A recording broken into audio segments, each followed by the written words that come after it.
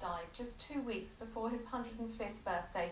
George Atkinson from Swaffham was believed to be Britain's oldest and unluckiest racing punter. So unlucky, in fact, it earned him the fond nickname George II.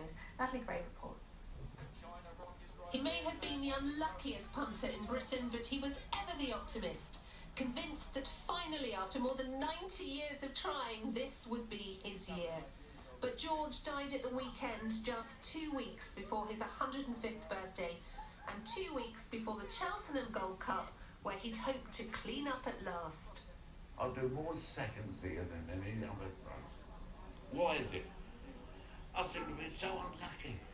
And that's why he was known as George II at his local bookies in Swaffham.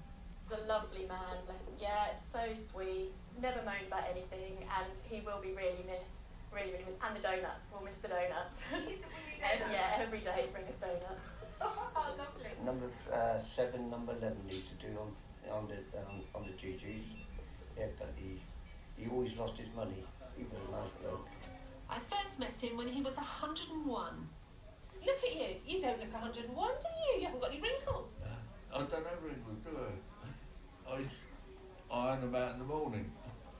George, a widowed father of seven, grandfather and great-grandfather, placed his first ever bet when he was just 12 at the Epsom Derby. In December, he made it into the Guinness Book of Records for being the oldest man to give a bride away.